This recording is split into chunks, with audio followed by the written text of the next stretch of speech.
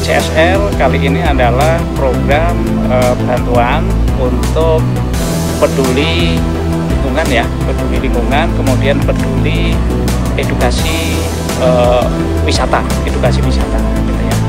Nah kebetulan hari ini kita membantu uh, planker, jadi pemuda uh, langganan keramaian yang ada di Desa Gerbong. Jadi kita lihat memang kegiatannya cukup uh, positif, termasuk dalam hal ini uh, pelestarian alam gitu ya, pelestarian alam sehingga uh, PLN juga uh, tertarik untuk ke apa namanya membantu uh, dalam kegiatan-kegiatan ini gitu ya.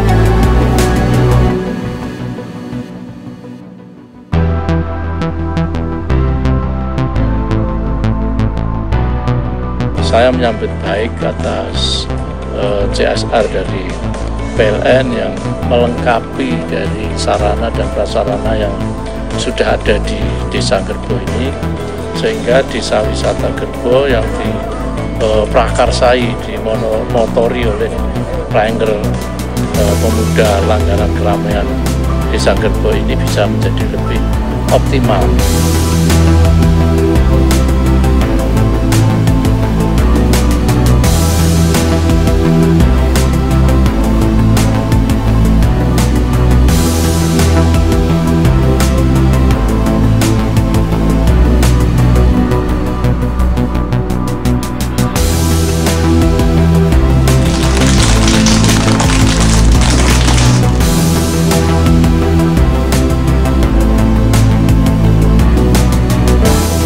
Alhamdulillah dengan adanya program ini kita sudah berjalan dua tahun tapi hanya berjalan di tempat tapi dengan adanya CSR dari PLN ini.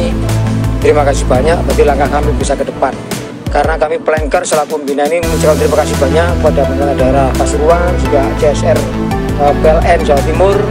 Mana ke depannya karena memang wisata yang kami kelola adalah edukasi berkelanjutan jadi kami akan memberikan pembelajaran kepada anak SD sampai tingkat mahasiswa baik itu dengan kearifan lokal dan pertanian. Makanya ini adalah Plangker Desa Wisata Gunung Tumpeng. Ini adalah satu-satunya di Jawa Timur yang konsepnya uh, hanya satu di Jawa Timur. Ya, karena kita akan memberikan uh, lokal uh, pendidikan tentang pertanian dengan membajak sawah dengan saya tradisional. Kita juga menggunakan kearifan lokal, juga mengenakan budaya-budaya yang semakin hari sudah semakin luntur.